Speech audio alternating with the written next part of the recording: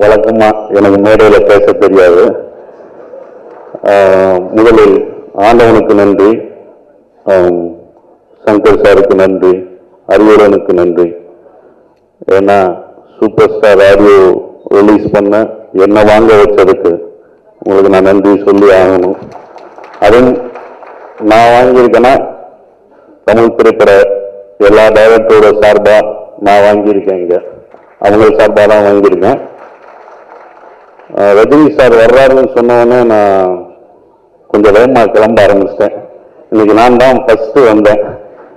நிக்கில் கூட கேட்டார் என்ன சீக்கிரம் வந்துட்டீங்களா அப்படின்னா இன்னும் கொஞ்சம் லேட்டாகவே வரலாமே நாங்கள் இல்லை நேற்று நைட்டில் இருந்தே நான் ரெடி ஆகிட்டேன் சீக்கிரம் போகணும் சீக்கிரம் போகணும்.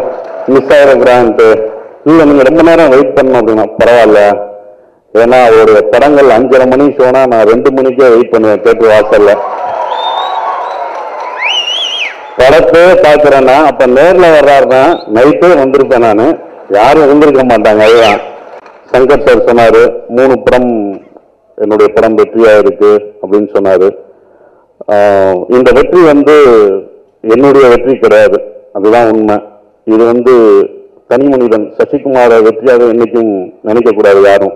அது தமிழ் சினிமாவின் வெற்றி தான் அது. ஏன்னா அது யாருக்கும் தெரிய மாட்டேங்குது. சில பொறாமைகளும் இருக்கும். ஒரு படம் எல்லா படமும் ஜெயிக்கணும். நான் பேப்பரை திறந்து பார்த்தேன்னா இன்னைக்கு வரும்போது எல்லா ப்ரொடியூசரும் இன்னைக்கு ஜெயிக்கணும். இந்த படம் ஜெயிக்கணும் தான் நான் நினைப்பேன். அதுதான் என் வெற்றி காரணமா இருக்குன்னு நினைக்கிறேன். ஸோ அப்படி ஒவ்வொருவரும் நினைக்கணும். ஏன்னா இன்னைக்கு நான் ப்ரொடியூஸ் பண்ணியிருக்கேன்னா தைரியமா ப்ரொடியூஸ் பண்ணதுக்கு காரணம் முக்கிய காரணம் சங்கர் சார் தான். ஏன் அப்படின்னா அவருடைய காதல் படம் ஓடுச்சு. பயங்கர சக்சஸ்ஃபுல்லா ஆச்சு. காதல் வெயில்லாம் சக்சஸ்ஃபுல்லா ஆச்சு. அதை வச்சுதான் நான் பிசினஸ் பண்ணேன். ஏன்னா புது ஆர்டிஸ்டா இருக்காங்க புது டைரக்டரா இருக்காங்க அப்படின்னு சொல்லும்போது நான் அதை தான் எக்ஸாம்பிள் காமிச்சேன்.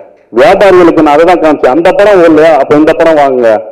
அப்படின்னு தான் வியாபாரத்துக்கு போனேன். அது மாதிரி தான் என்னுடைய படங்களும் வியாபாரத்துக்கு உங்களுக்கு ஹெல்ப்ஃபுல்லாக எல்லாருக்குமே ஹெல்ப்ஃபுல்லாக இருக்கும். ஸோ இது வந்து தனி மனித வெற்றி அப்படின்னு என்னைக்குமே நினைக்கவே கூடாது. ஏன்னா நான் நினைக்கல சத்தியமா. ஸோ இது தமிழ் சினிமாவின் வெற்றி. இந்த வெற்றிக்கு முக்கிய காரணம் நீங்கள் தான் நல்ல படங்கள் நீங்கள் ஆதரிச்சிங்கன்னா நல்ல படங்கள் வந்துக்கிட்டே இருக்கும். நானே கிடையவே கிடையாது. ஒரு பர்சன்ட் கூட கிடையாது.